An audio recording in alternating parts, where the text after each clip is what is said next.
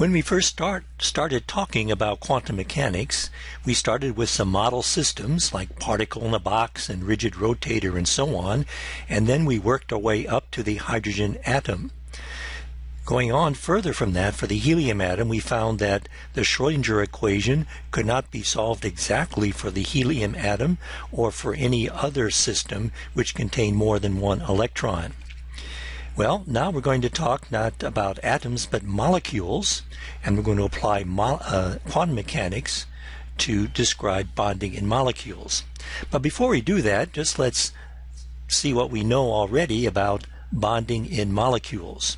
In particular, we could ask the question, what is a chemical bond? One of the first things that may come to mind based on your previous study of chemistry is that a bond in a molecule is buildup of electron density between the atoms.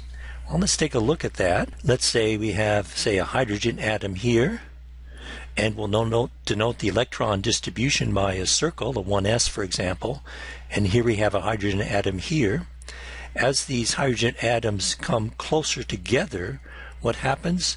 Well, you form a bond where here's the nucleus and here's the nucleus, and then you have some sort of bond like this, and this is called, uh, this would then be the buildup of electron density. Well, that's a useful concept. However, if we actually look at electron density throughout a molecule, we find that actually the bond represents a dip. Usually it represents a dip in electron density. For example, let's look at the oxygen molecule. Here's one oxygen, here's another, and they're close enough together so that there's a chemical bond between them. And now let's look at electron density as we go from one side to the other. We'll plot here electron density, which perhaps we could, in quantum mechanics, call that the square of the wave function of the molecule, but just for now, let's call it electron density uh, versus distance here, r. Well, it turns out that only the valence electrons, remember from introductory chemistry, only the valence electrons are involved in bonding. In this case, there would be, for instance, say 2p orbitals involved in bonding. But the 1s and the 2s, in fact, are still centered or localized on the oxygen atom. So the electron density actually is very large at the uh, center where the where the atoms are located. And since this is only electrons involved in bonding the electron density in between the two atoms would be small. So if we plot electron density there's the position of that oxygen atom there's the position of that oxygen atom. So you come up go here be a, a maximum and then we have that dip there and then goes up here and then a maximum falls out. So from this picture, it appears like for diatomic molecules greater than hydrogen, we would have a minimum in electron density. Electron density sure builds up between them, but if you look at total electron density, it would actually be a dip a little valley in between these two mountain peaks representing the core electrons in the atoms forming the molecule. Perhaps that's a good description, uh, electron density buildup, but we have to remember that most of the electron density will be centered around the atoms. And in fact, that's how X-ray diffraction works. X-rays are diffracted by atoms, or sorry, by electrons, and the electrons are concentrated around the nucleus, so the X-ray diffraction gives you um, where the nuclei are.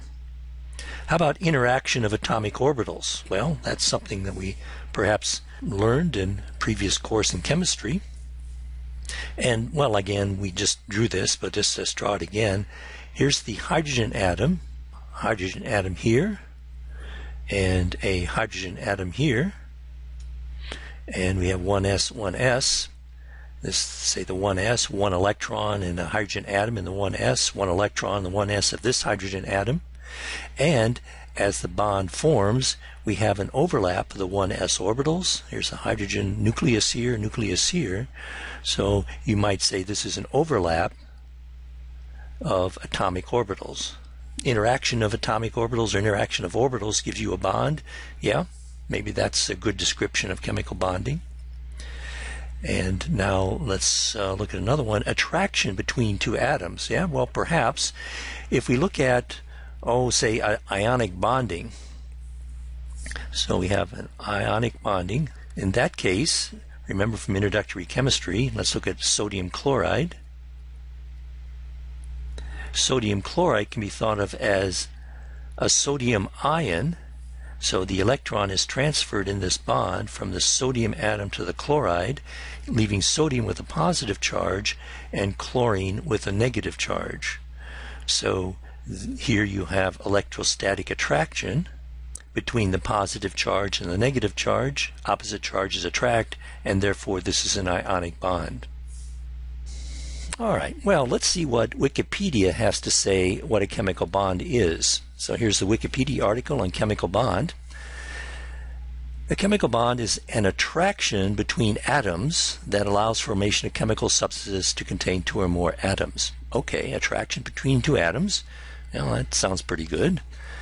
The bond is caused by the electrostatic force of attraction between opposite charges, either between the electrons and the nuclei, or as a result of dipole attraction and so on, strong bonds, weak bonds, dipole, dipole, and so on. So it looks like this is a general uh, description of a chemical bond. But we're just interested here, and I guess in the Wikipedia vernacular, this will be strong bonds, a covalent or ionic. So, chemical bond, attraction between two atoms, duh allows the formation, uh, okay, the bond is caused by electrostatic force of attraction between opposite charges. Well, what do they mean by that? Well, let's take a gander down here. Uh, since opposite charges attract, yeah, oh, that's true, and so on. Electron position between two nuclei will be attracted to both of them. Oh, yeah, okay, if it says so. Uh, blah, blah, blah. So I really don't like this, uh, this description here. It doesn't really say much.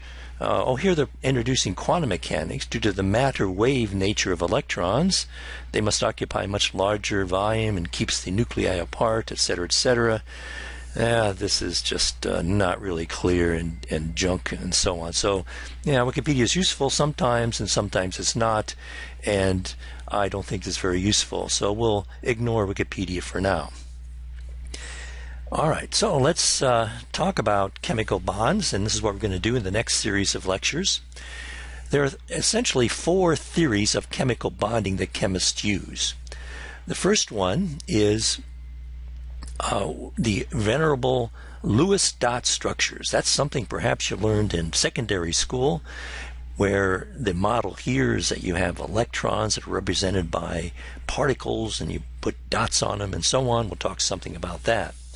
The next most complex theory, theory of bonding is the valence bond theory, and that would be interaction of atomic orbitals and so on. And then, as an adjunct to valence bond theory, there's hybridization, which we'll learn about.